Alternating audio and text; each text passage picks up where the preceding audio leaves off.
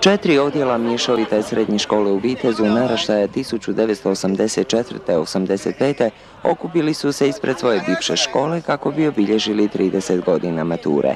Neki od njih viđaju se često, no drugi su morali reći svoje ime kako bi ih bivše kolege prepoznale.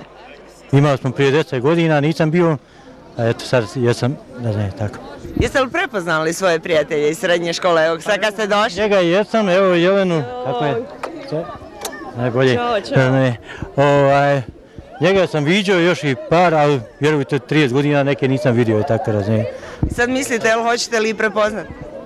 Pa ja mislim da hoću sve. Bitni su iz više razloga. Prvo što smo poželjeli da se sretnemo, da se vidimo, mnogi da kažemo nešto o svojoj djeci, o svom poslu, o svom životu, pa čak i unučat su tu stigla.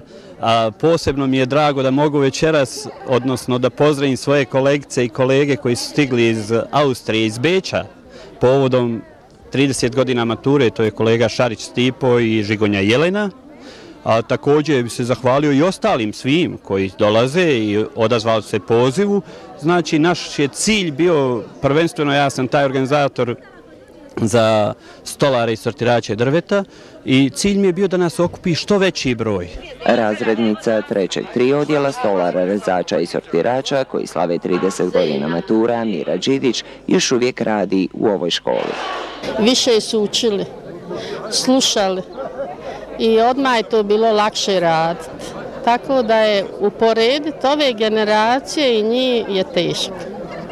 Oni su i uspjeli vjerovatno više nego što će ovi uspjeti. Na okupljanje maturanata došli su i drugi profesori koji su nekada predavali okupljenim slavljenicima.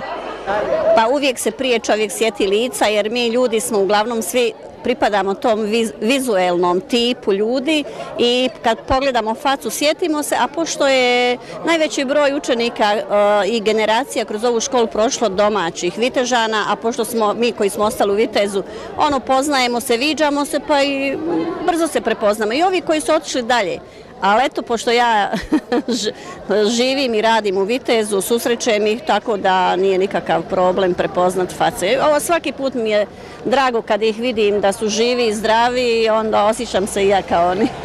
Nakon prisjećanja na vrijeme provedeno u ovim školskim klupama, slavlje je nastavljeno u restoranima uz nadu kako će ih na sljedećem jubileju biti puno više.